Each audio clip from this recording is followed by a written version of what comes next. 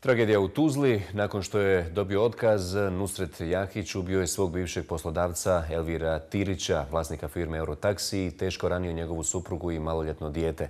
Zapalio je njihovu porodičnu kuću, a onda pokušao samoubistvo. Kako saznajemo, Jahić je bivši radnik firme Eurotaksi i u kuću Elvira Tirića u Tuzlanskom naselju Bečarevac došao je nakon što je dobio otkaz. Svog bivšeg poslodavca našao je u garaži i tu ga je i ubio. Potom je zapalio radionicu, a požar se proširio na cijelu kuću. Osoba sa inicijalima NJ ispala je nekoliko hitaca. E, tom prilikom je ubila e, vlasnika e, taksi firme Eurotaksi iz Tuzle Elvira Tirića.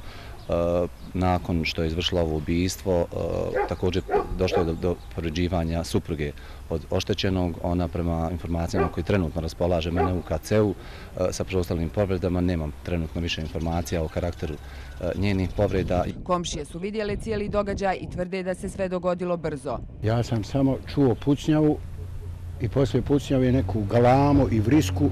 Pogledao sam ovdje dole neka gužba bila. Odavde se vidi od moje kuće dole i onda kasnije plamen.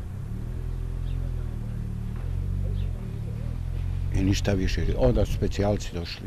Jahić je ranio i ženu Elvira Tirića, nakon što je sve bilo gotovo, pokušao je i samoubistvo. Trenutno je hospitaliziran na urgentnom kliničkom centru Tuzla.